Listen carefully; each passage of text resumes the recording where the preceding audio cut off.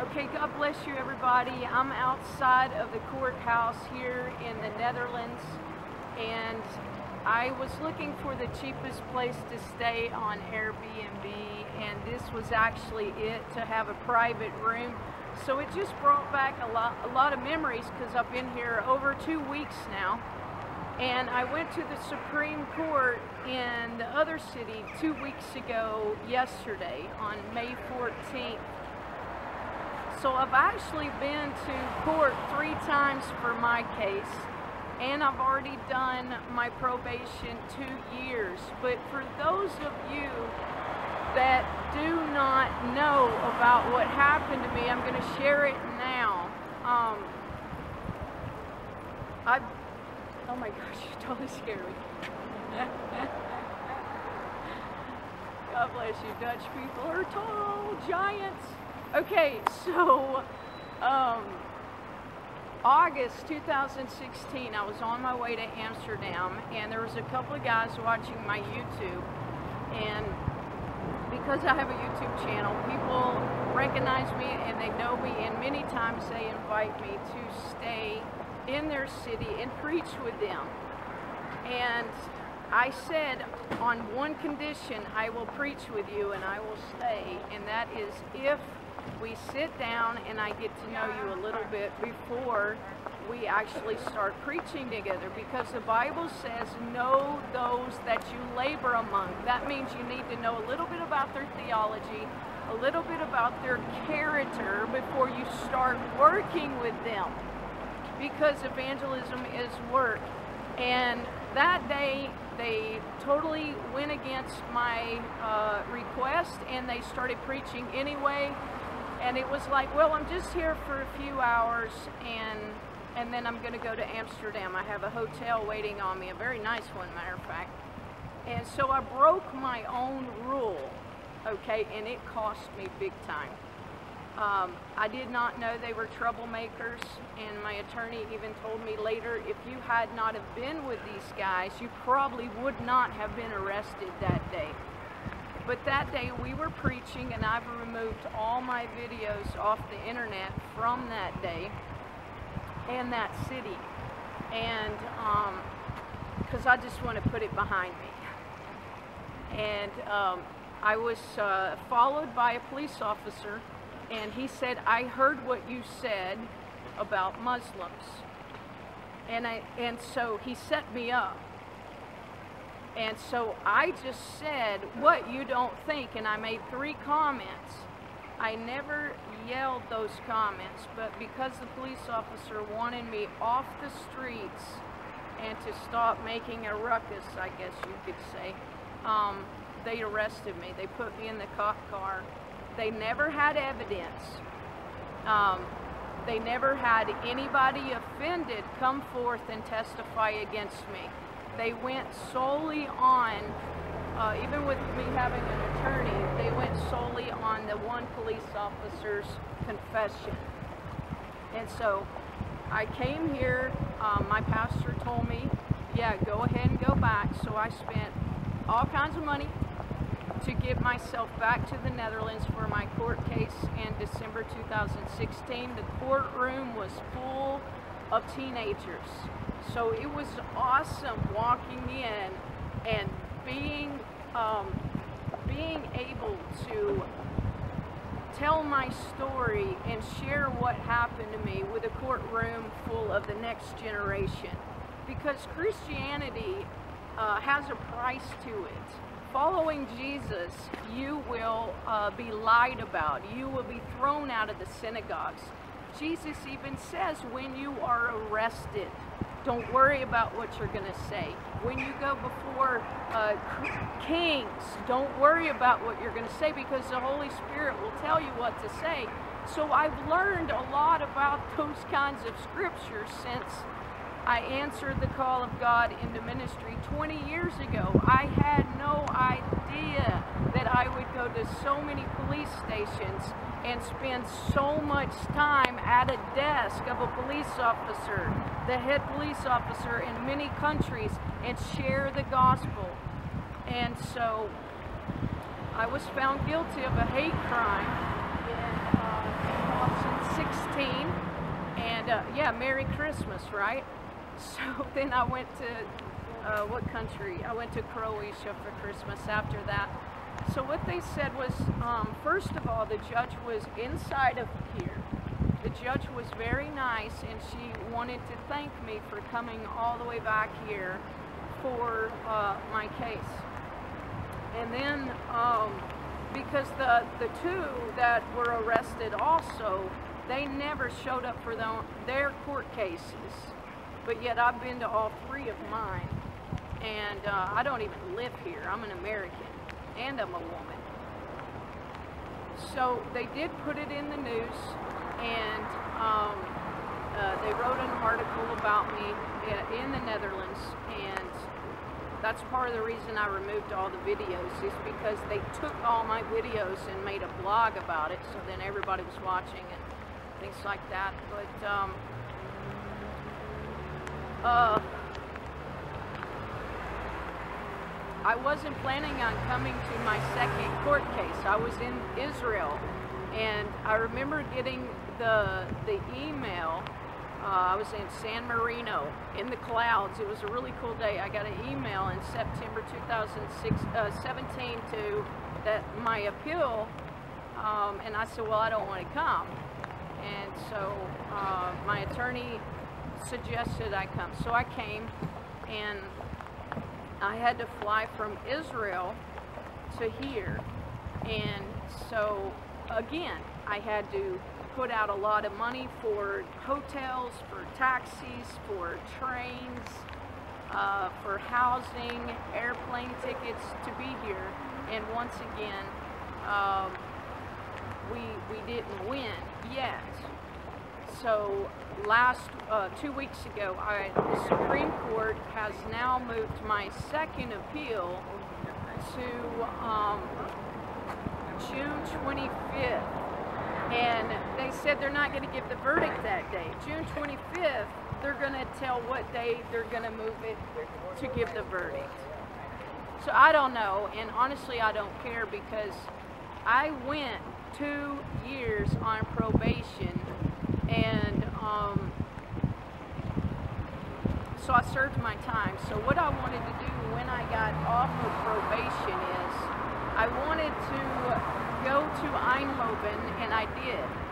I was in Eindhoven for Christmas, and I wanted closure, and I still don't have the closure I'm looking for. But I went to Eindhoven, and um, I, on December 22nd, I sang over the city for, for three hours, and uh, it was great. It was a, it was a great memory of the last day. But imagine, imagine God calling you to a country that locked you up and God telling you, I want you to go live in Amsterdam with a Muslim while you're on probation for a hate crime. And so I, that's what I did last year. If you haven't heard that part of the story, um, I lived with a Muslim last year for three months while I'm on probation for a hate crime. She never knew who I was. You know, it's real easy to go by my first name and not tell people about, you know, uh, my preacher's name, right? So then last year I came back to the Netherlands and I remember my tent breaking on the day of Gay Pride and I ended up in Amsterdam and I didn't know where to go. I didn't know where to even spend the night that night. And the next thing I know, I'm in the middle of Gay Pride uh, with all my luggage.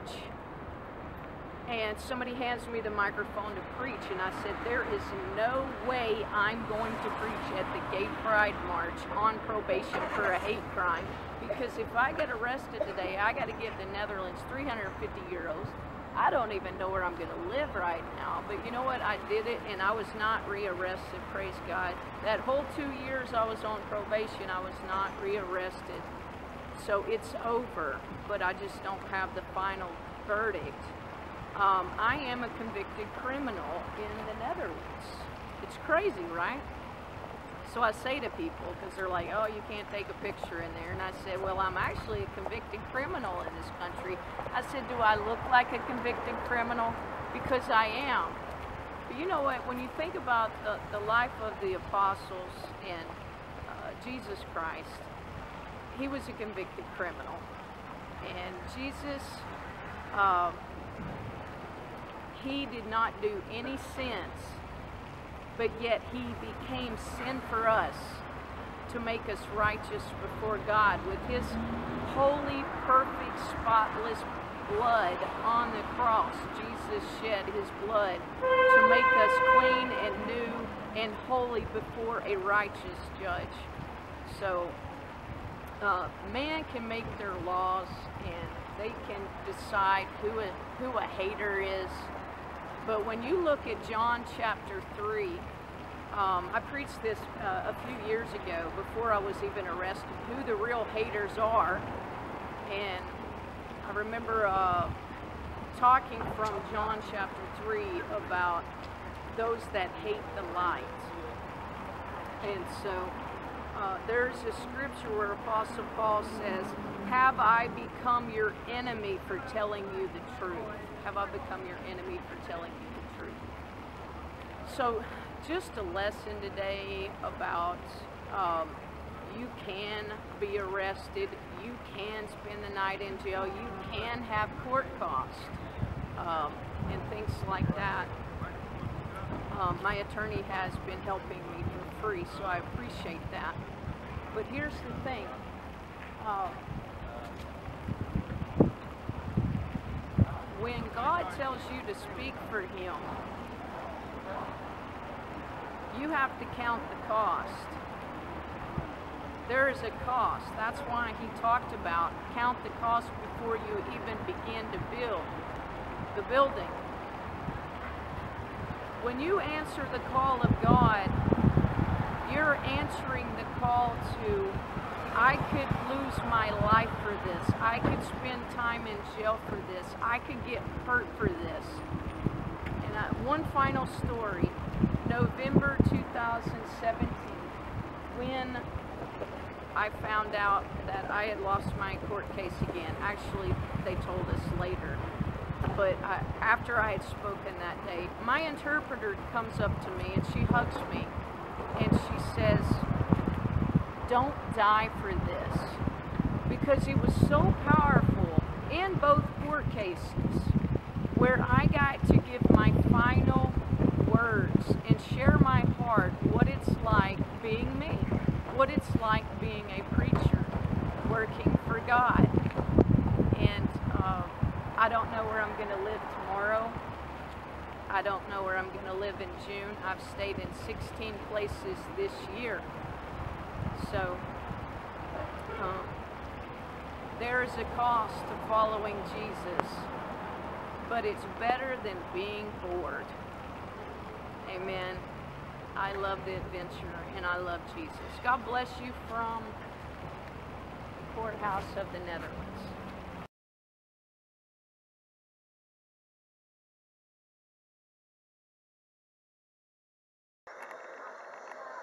Okay, this is my first time preaching the gospel in the open air since January. I to pray for me today. I appreciate your prayers. Have a brother here Okay, okay. from the Philippines. From the Philippines, yes. My name is Emmanuel. Ma- Emmanuel means God with us. yes, amen. That's a sign from God. Yes. And he's got a Dallas, Texas shirt on, Just put it which on. I I lived in Dallas, Texas. Most of you know. And he's also got Amsterdam Holland colors on with the number 38. So I, I think he's a prophetic sign from God, Emmanuel with us. yes. Praise the Lord, everyone. I've come out here to preach the gospel, the gospel of the kingdom. Jesus Christ is Lord over Italy, not his mother, not the Pope, and not Joseph or the dead saints. Jesus Christ Amen. is Lord. Hallelujah. The Word of God declares that God loved us so much that He sent us a gift, Word, Lord. a gift of the Word made flesh, a gift wrapped in swaddling clothes, lying in a manger. Baby Jesus, He grew up. Jesus is not a baby anymore. Amen. Amen. In the Philippines, they call him baby Jesus. But Jesus is the lion and the lamb.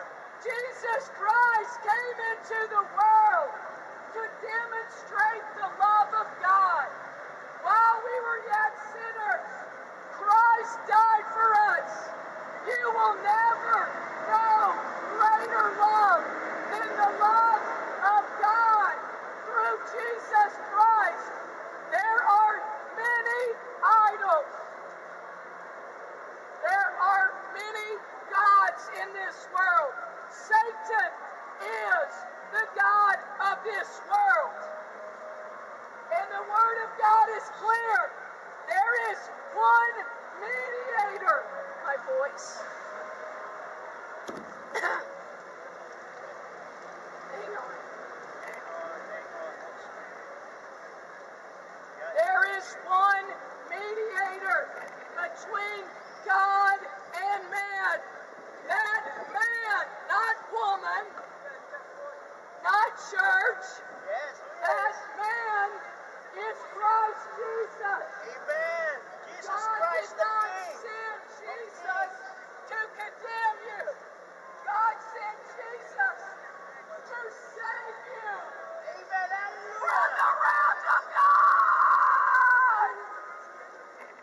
Jesus came to save you from hell fire. You know how a lot of people make jokes about hell, like they're going to be friends with the devil. The devil hates you. Hell is real. And people that reject Jesus go there. God is not willing that any of you perish, but that you all, that you all come to repentance. Repent. Believe the gospel. Jesus Christ died on the cross for your sins. He was buried. God raised him from the dead. Three days later, he was seen by over 500 people. What must I do to be saved? You must repent. Hallelujah. Repent. Repent and believe. Whosoever calls upon the name of the Lord shall be saved. Jesus. Jesus. Jesus Christ. Jesus He's the man. He's the man. Fully man, fully God. Hallelujah. God made flesh. The Word of God made flesh and dwelt among us. God wants to save you. God wants to redeem you from the curse of sin. The wages death, but the gift of God is, it is eternal life through Jesus Christ.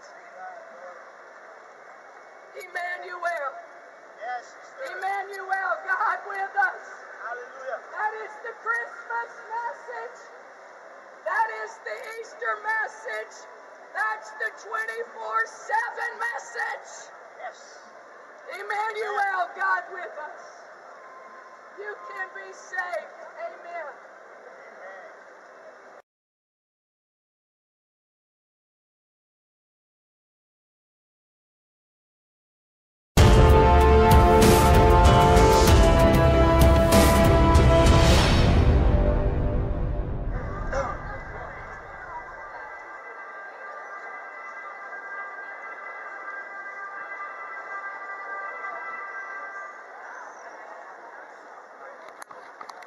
This is where I'm going to preach. It is crazy packed. And I preached here five years ago, two days after I got out of jail in Rome. And it was a really good night. Dean was with me. So I remember I held my camera like this in Croatia. So I'm like, I could do that again.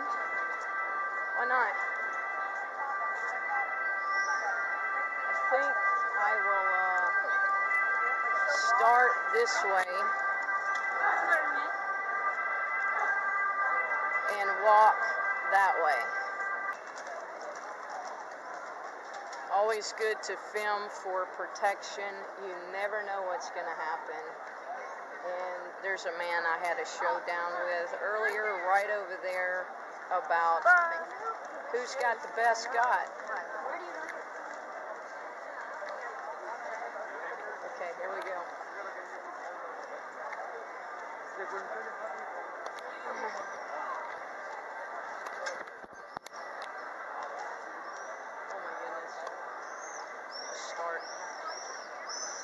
Praise the Lord, everyone. I've come out here to preach the Word of God.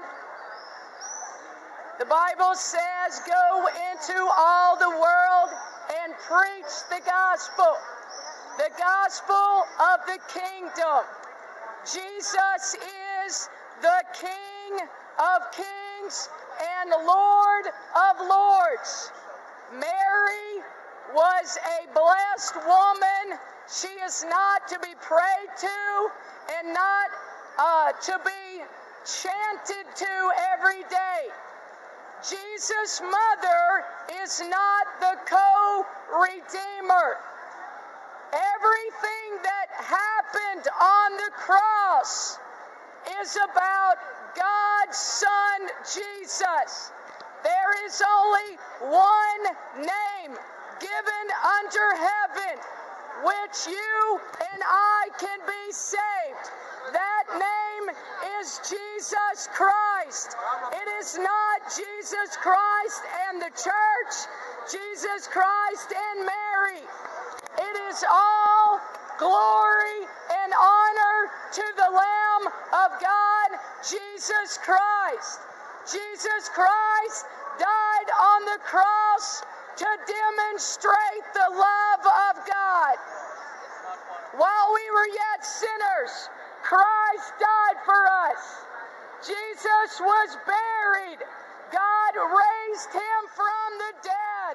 Hallelujah! God is not dead. Religion is dead. Religion is dead. Religion is hanging around the church, but not being the church. God is looking for those of you that will get born again and give your life to Jesus Christ. Anybody can take a picture of an expensive church, but do you know Jesus as your Lord and Savior? Are your sins forgiven? If you died today and stood before God, would you go to heaven or hell fire? Jesus said, If you deny me before men, I will, I must deny you before the Father in heaven also. If you confess God, he will confess you. Whosoever calls upon the name of the Lord shall be saved.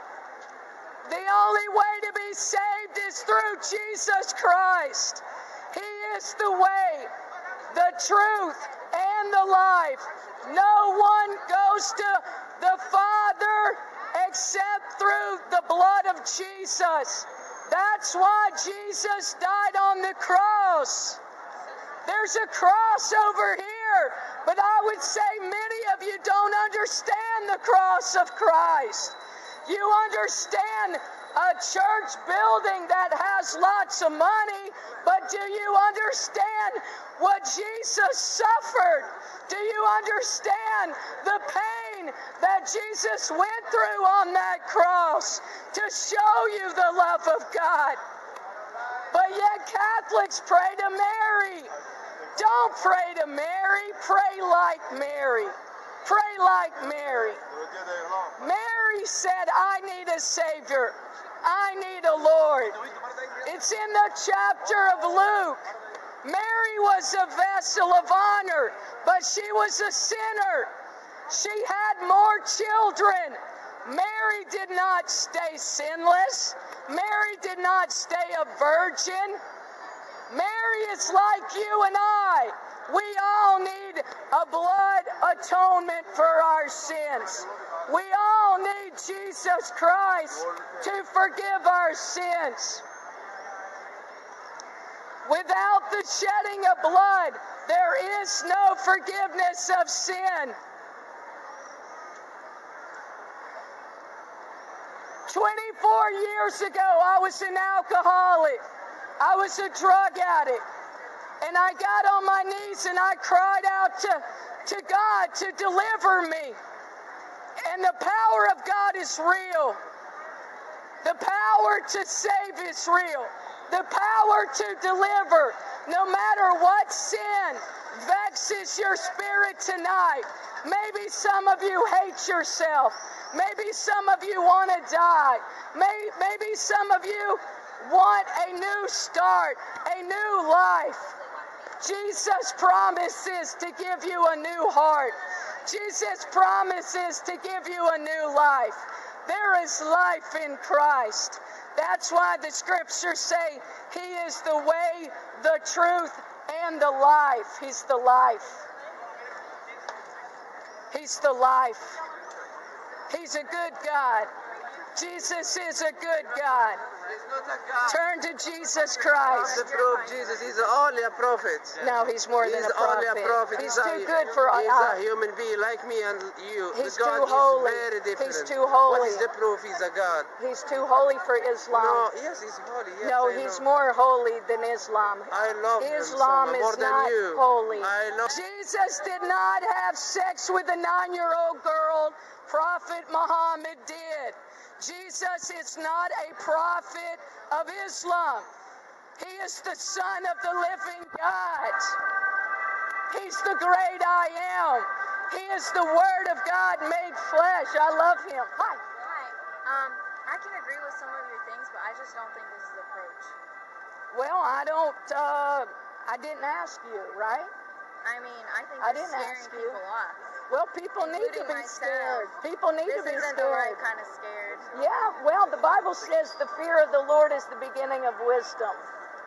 The Lord had multitudes. He wasn't like, you know, just yelling random stuff. Well, read the Bible I, I do every day. So. every day, and you never saw a street preacher in the Bible. Yeah, but this just isn't the approach. That's how they Jesus did it. Do you know with a nine- Jesus was I do. Killed? I Do you know the I disciples just were don't think killed? it's appropriate to Well, the Bible says go religions. into to all the world. for other religions. Jesus doesn't respect other religions. I can he challenge you if you answer my seven questions. Okay. No, thank you. Answer seven questions, and I No, trust you. I, I don't So turn you don't a have the moon god. So it's better to, to, to shut up. The Bible is converted by the church. So Not the Catholic No, Church. The. Catholic Church changed the Ten Commandments. why your people they, take, they give Catholics change they give changed money to Ten Commandments. Don't, that's not my people. That's not my people. I'm not a Catholic. The, Ca- the Catholic Church arrested me. The Catholic Church arrested me and put me in jail. I'm not a part of this church.